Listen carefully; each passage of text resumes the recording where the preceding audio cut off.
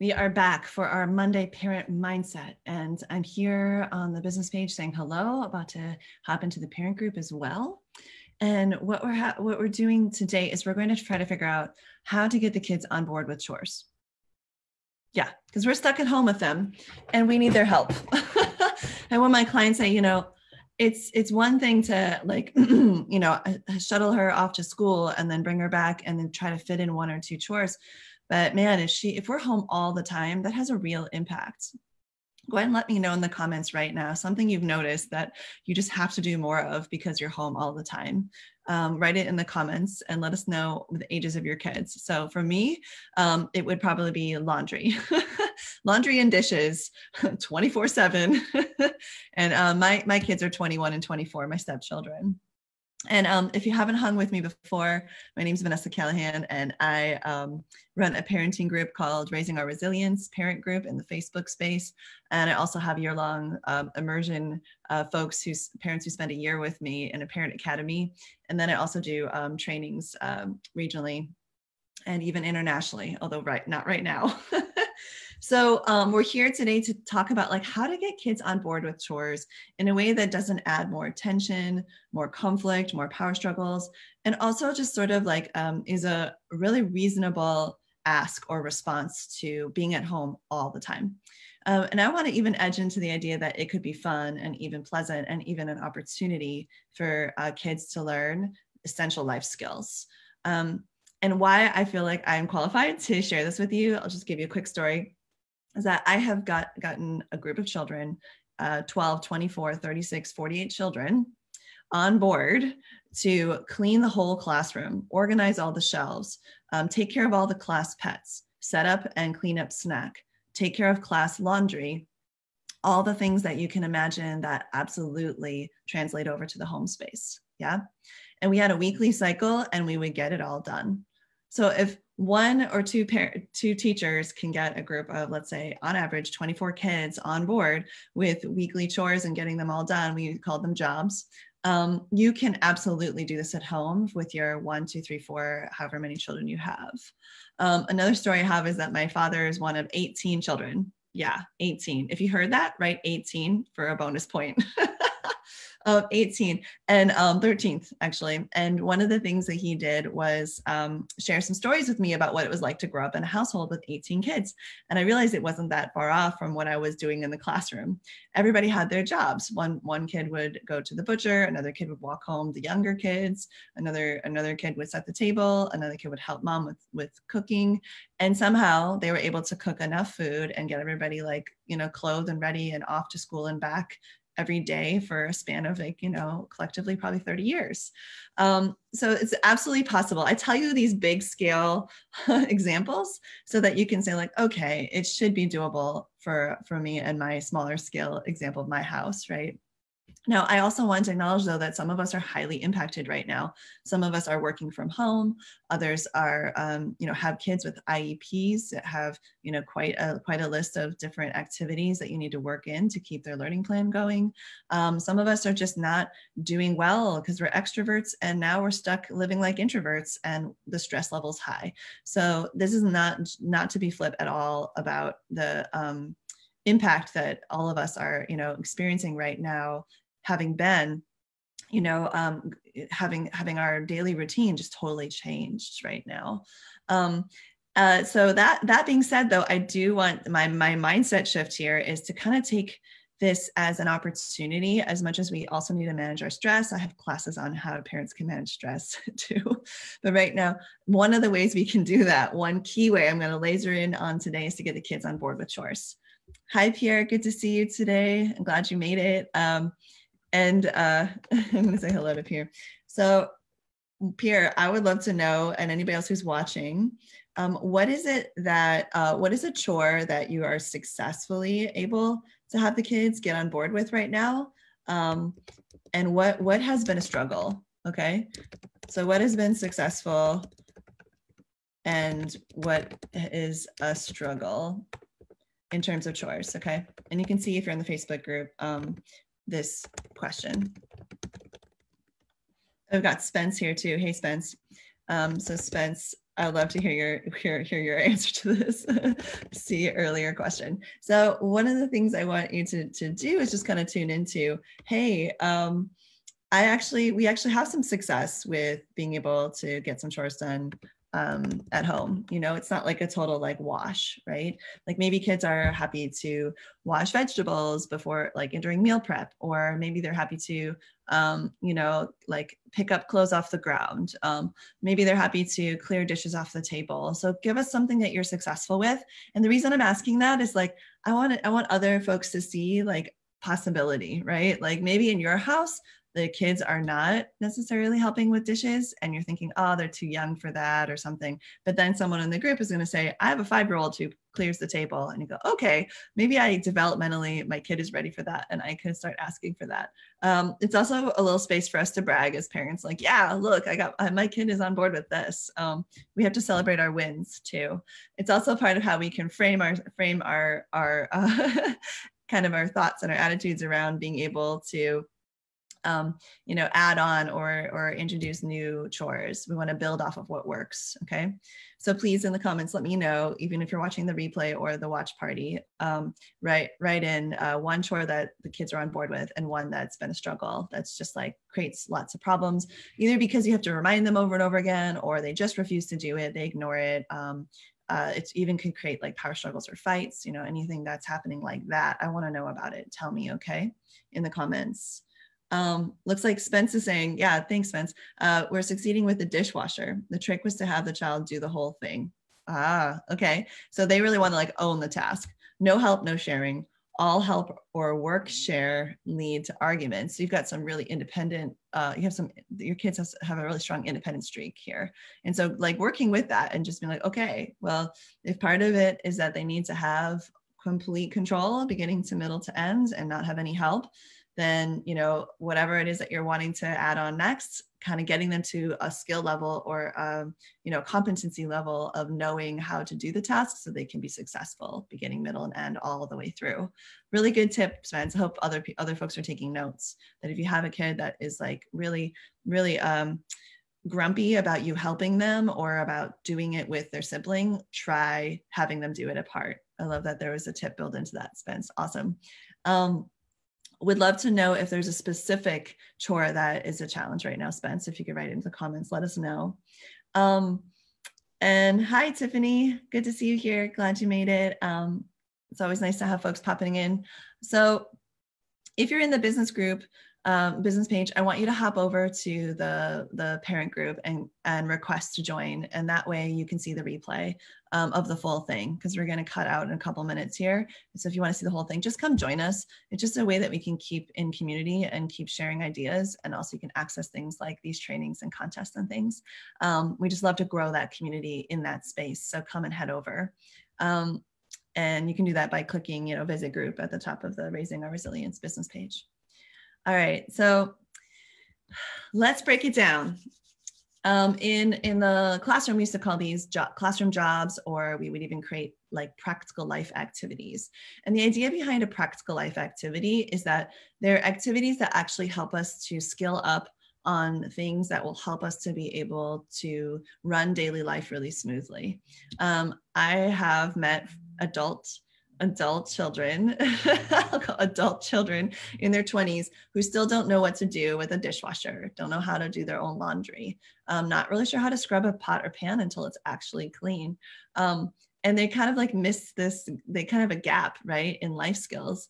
Um, and the other thing that that so we don't want our kids to, to be that kind of roommate right where you're like oh no they they just use the kitchen it's it's a disaster in there um, the other thing is um, we also don't want necessarily to um, make make chores be like a big um, sort of let down like like the the worst part of the day right? Because what ends up happening is we end up having this really strange relationship with our own home space um, where we're like rejecting um, the daily life of living in a space.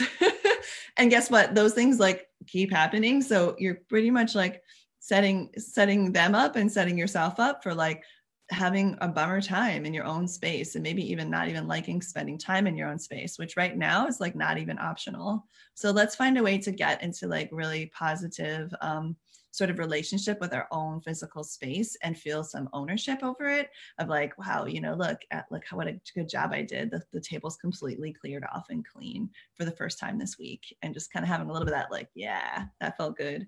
And if you're skeptical because of the way that maybe your own relationship with chores i want you to set that aside.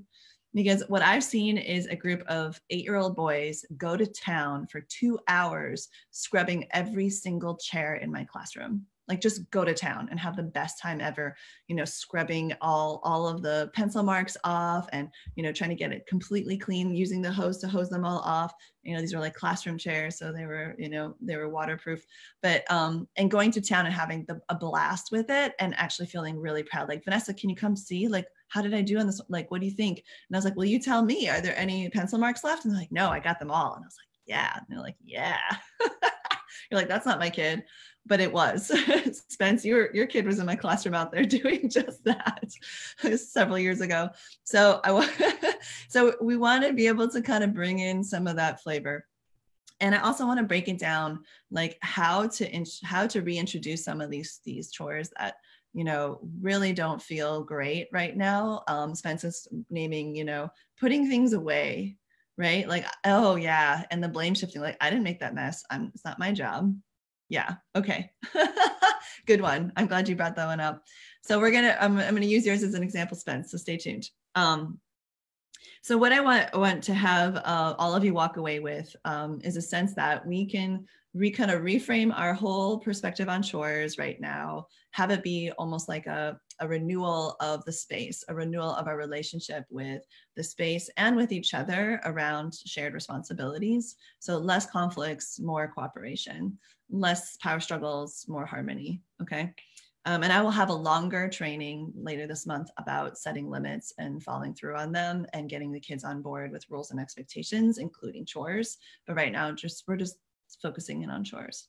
So here we go. The first thing is that I want you to really think about it as as an opportunity to teach them an essential skill and make it a little bit less personal about like them helping you Okay.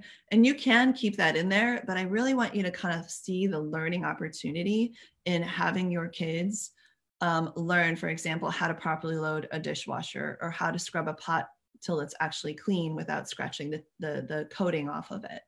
I want you to think of it as an essential life skill.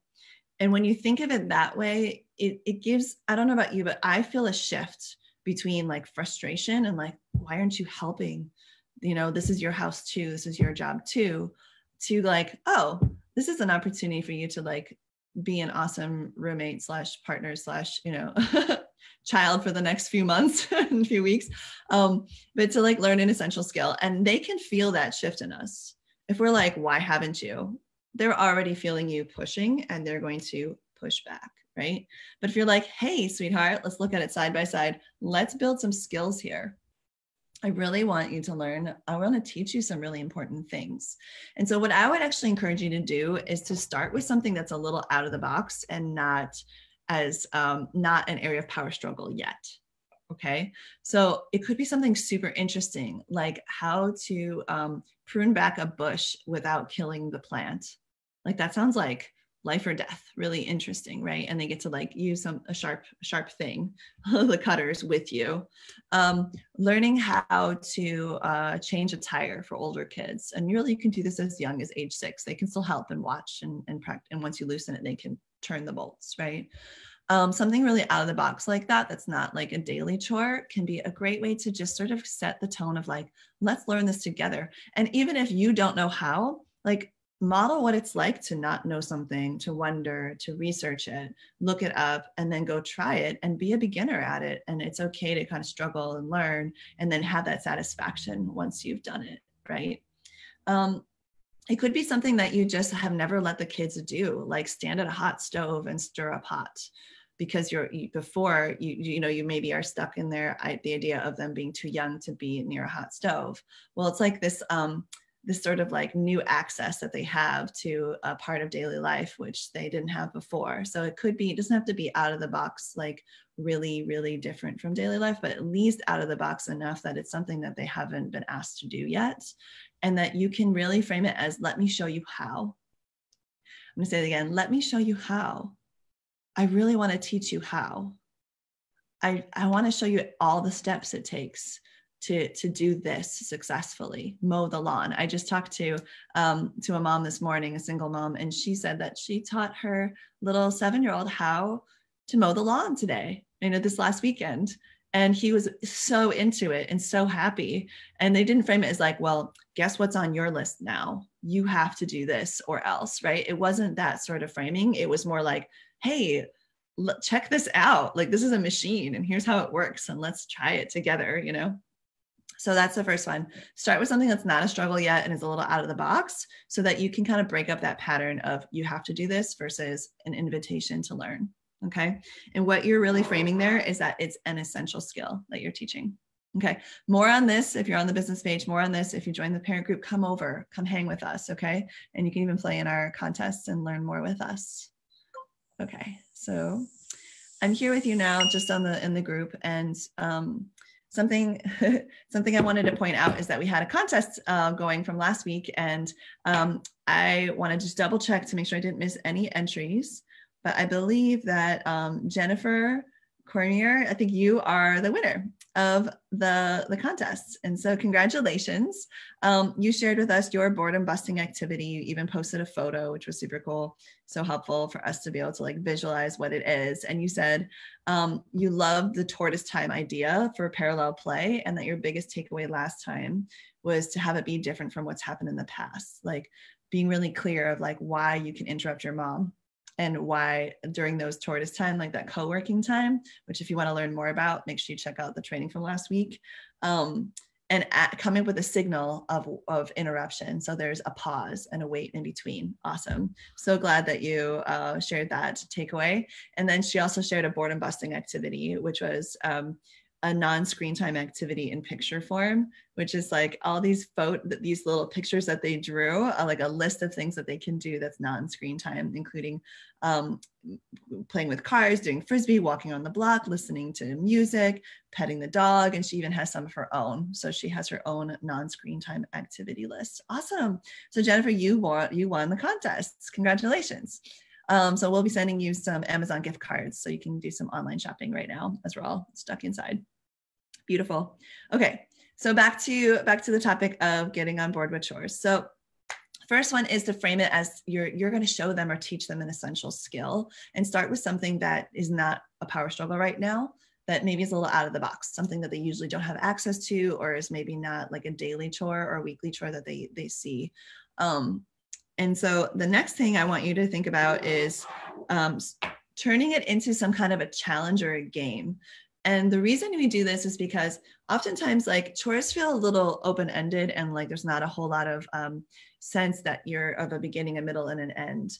And sometimes when we can break it down into steps and um, when we're teaching it we can also build in a little challenge that is a motivation hack. Um, several of you joined the group recently uh, the parenting group and you selected boosting my child's motivation as your number one thing you want help with. So here we go.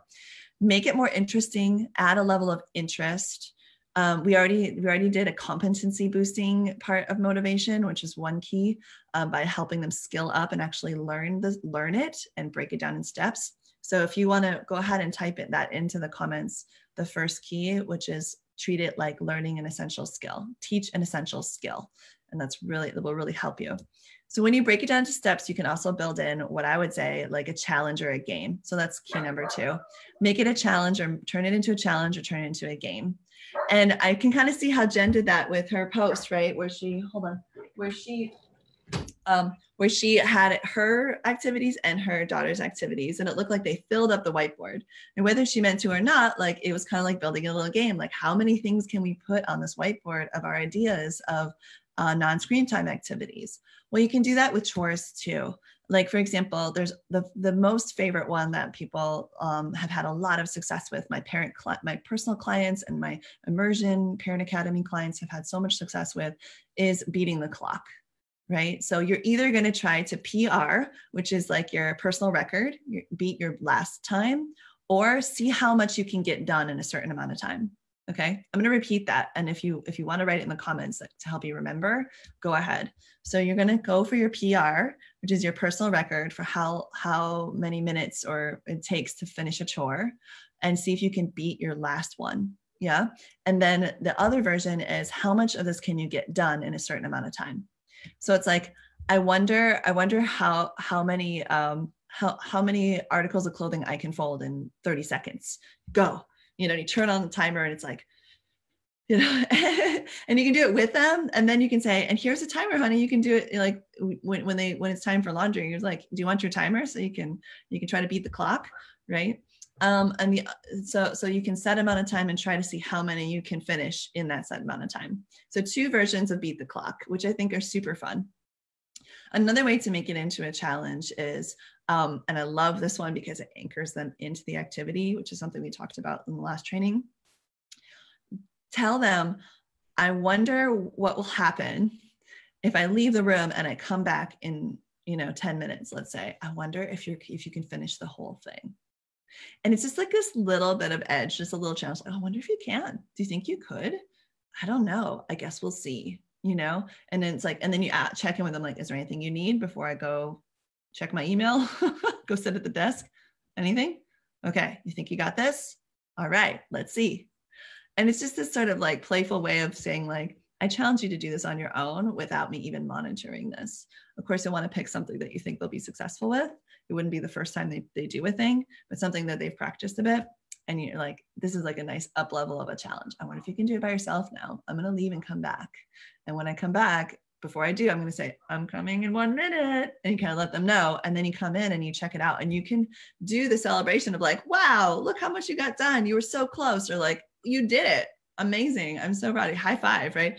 And just build in a little bit of that challenge in there. Um, and there's so many ways to do that but that's those are some to get your ideas started. So in the comments i would love to see one, two, three, one, two, right? First one is um, teach it like an essential skill rather than, you know, telling them they have to do it and bossing them around and managing them. teach it to them, breaking it down in steps, practice with them, right? And then turn it into a challenge or a game. And then the last one, which I think is really important for kids sometimes, is like they need to know that this is the time in the routine where we are all doing a thing right? So it could be this is the time when we all get dressed. This is the time when we all get ready for bed, brush our teeth. So the younger they are, the more important it is that we are doing almost like either with them or or side by side the same thing they are and there's like it's time for that, right?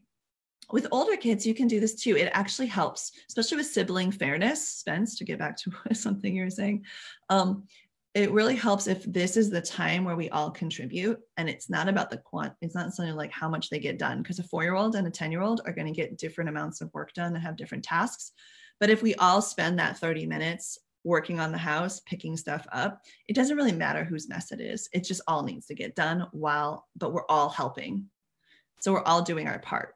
Like I always had so much more success having kids clean up after themselves during cleanup time than in intermittently throughout the morning or intermittently throughout the afternoon because it's cleanup time. And this is the time where everybody around you is doing it. And you almost feel awkward if you don't participate right and so i the short version of that is like make it a party you know like make it a little cleanup party. Turn on some music clean it up. I mean i'm, I'm remembering some scene in like I don't know, some movie like where all the kids are like everybody like cleans the whole house and you know the the headmistress is like playing the piano and uh, it's like an orphanage. I think it might have been Annie or something something something a little friendlier than that. But it was like the clean the house day and everybody did it.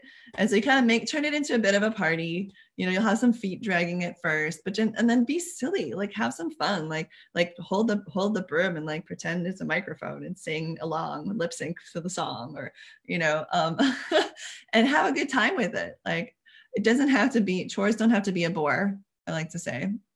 And as a matter of fact I, I like to even throw out the word chore and just call them like jobs, like home jobs. Like we have home projects and home jobs to take care of.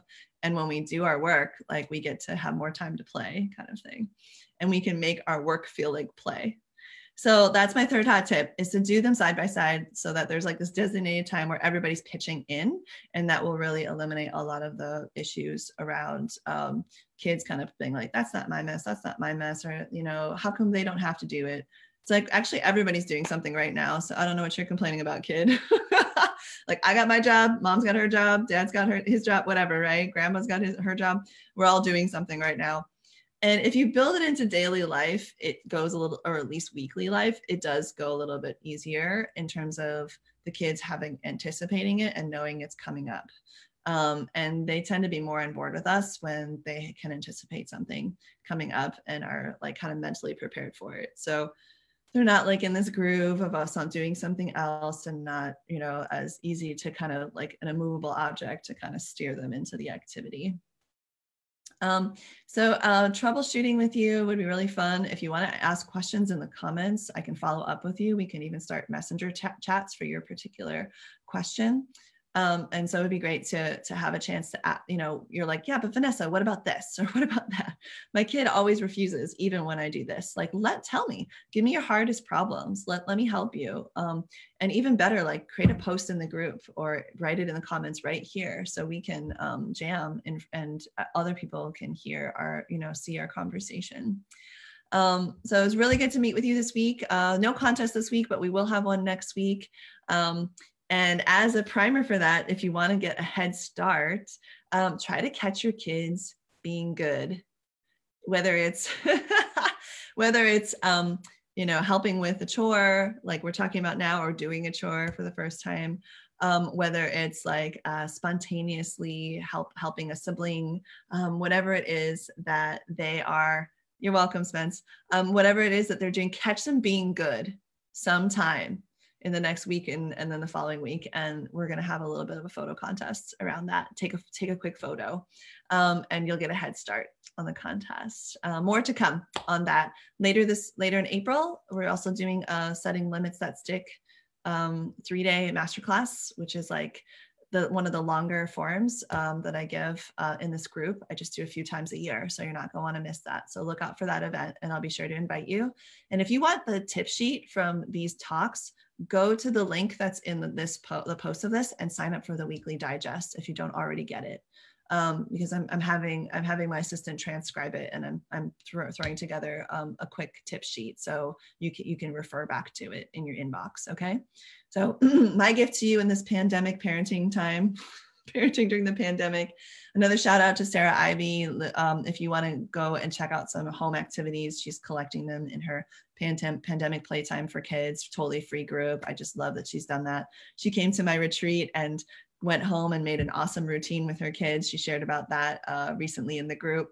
And then right now, now she's got this really great collection of about a thousand parents like chiming in of really cool activities that they're finding. And there's more and more every day and every week, virtual and hands-on. So really cool group to get some resources and um, come back with me. See you next next Monday at noon for more more tips on uh, parenting during the pandemic. Until then, lots of love and admiration. You got this. We got this together. Um, let us know how you're doing in the in the comments, and always throw up a post with any question or challenge you have, and we'll support you. Okay.